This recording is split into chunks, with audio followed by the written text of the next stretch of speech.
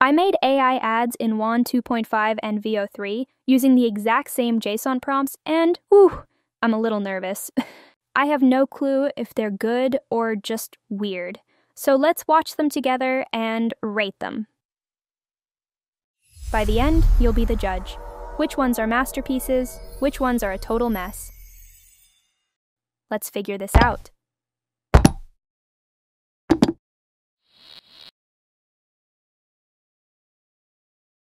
Quick thing before we jump in. Here's what I actually send to the AI for these ads. This is called a JSON prompt. I know it looks techy at first, but it's really just my wish list for each scene. First, I set the camera, where it is, the lens, if it's moving or not. Second is the subject, what we're focusing on. Then comes the real magic, the action, where I jot down what happens step by step, almost like a little timeline.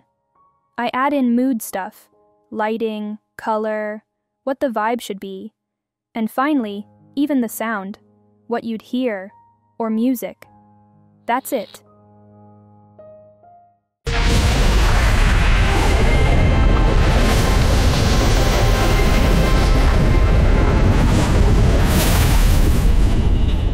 For this sneaker ad, I prompted both AIs to start with a super close-up on a futuristic sneaker, floating in a neon-lit alley at night.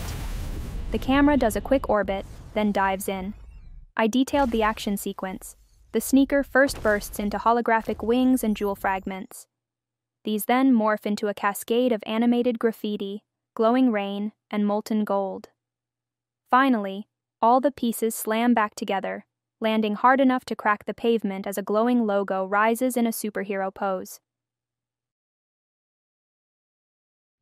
For the look, I specified a high-tech cyberpunk vibe, a neon palette of deep blue, green, and magenta, with soft film grain and wet, reflective surfaces. I fed the exact same prompt to both WAN 2.5 and Veo 3, only remapping the timing to fit their 8-second limits.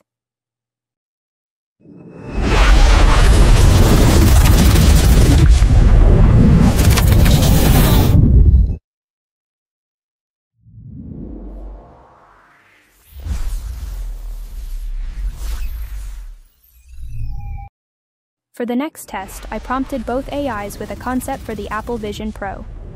The scene opens on a clean close-up of the headset on a minimal stand, framed by soft glass reflections and light rays. The action begins as the headset deconstructs into floating lens fragments, with each piece revealing a tiny animated dream world inside dancers, neon plants, or abstract art. From there, the fragments swirl into a glowing galaxy vortex, finally coalescing into a single crystalline Apple logo.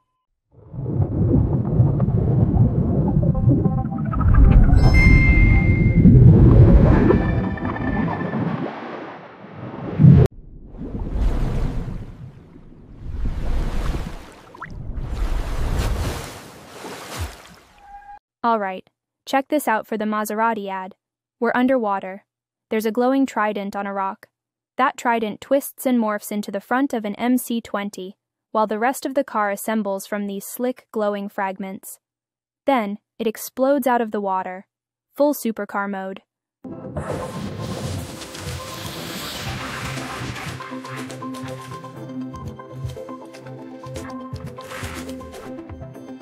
Here I told the AI, start with a glowing Tesla crate in the middle, let it open up and build the Cybertruck piece by piece. Add some glass showroom stuff falling into place. Go heavy on those robot assembly sounds. Give it all clean blue and silver lighting, but don't use music. If you want to see all the exact prompts, the full JSONs I gave both AIs, they're down in the video description. Honestly, they work way better as text than trying to read them off the screen.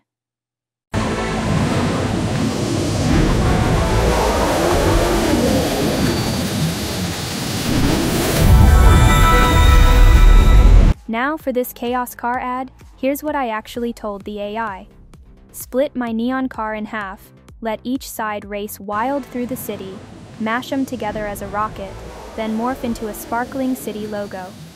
All neon, all speed, with punchy techie sound effects and, trust me, just 8 seconds to pull it off.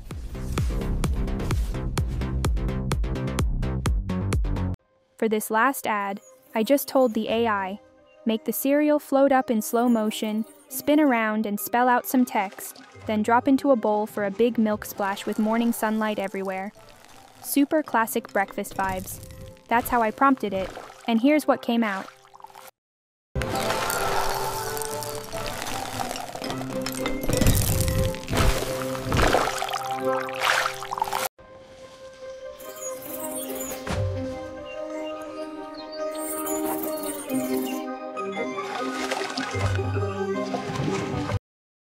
For all the WAN 2.5 ads, I was actually using Higgsfield.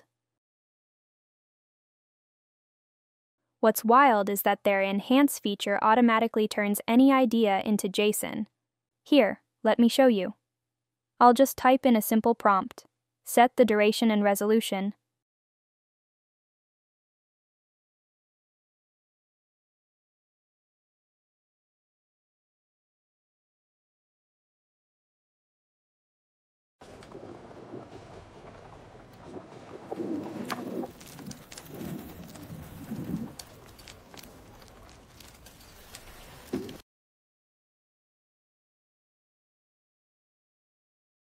and when I hit Generate, as you can see, it spits out this perfectly structured JSON.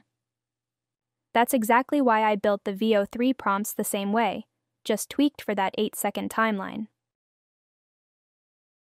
So my quick take, WAN 2.5 is the wild one, full of surprises. Veo 3 is the polished one, with smoother motion.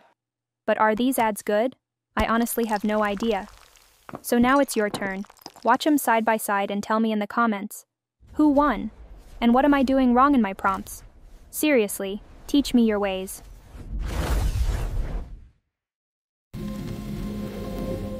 Alright, that's it for now.